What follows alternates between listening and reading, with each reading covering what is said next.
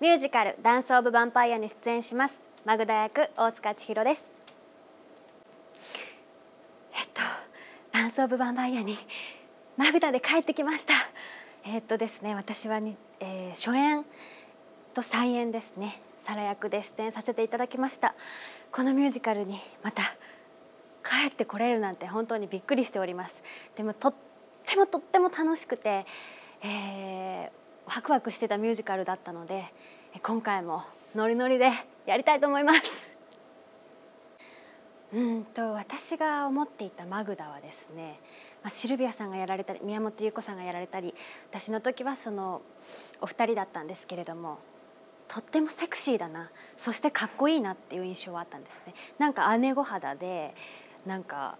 まあ、色気があってっていう感じだったんですけれども、まあ、お二人みたいな私はかっこよさがもしかしたらないかもしれないので私は私なりになんかコケティッシュにできたらいいなと思っております。えー、本当にちょっぴりエッチで